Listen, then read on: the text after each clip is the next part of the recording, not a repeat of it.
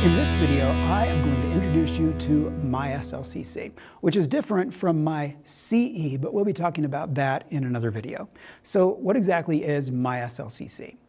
MySLCC is the college's student and faculty portal where students can add, drop, withdraw from their classes, where they pay their tuition, and where they access their transcript, and there's several other things there in the system.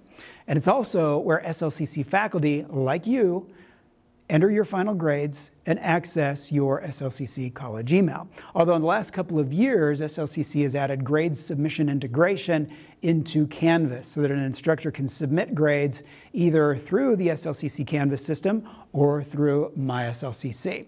We'll talk a little bit more about submitting grades through Canvas though in a later video.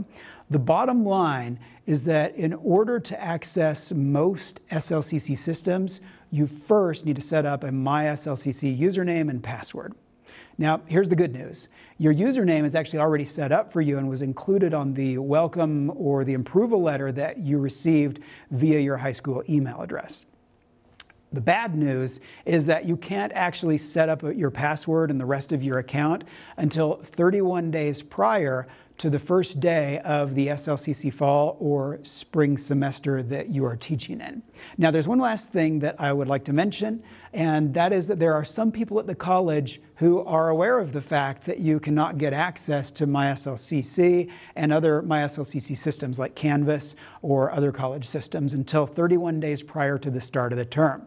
But there are many who don't know that that rule is actually coded into our IT systems. So if your faculty liaison who trained you on the SLCC course curriculum for the courses that you've been approved to teach tries to give you access to their Canvas course and they end up hitting barriers, just let them know that it's probably because of this 31 day rule. And most likely after the 1st of August or by mid December, you're going to be able to access that course. We'll see you in the next video.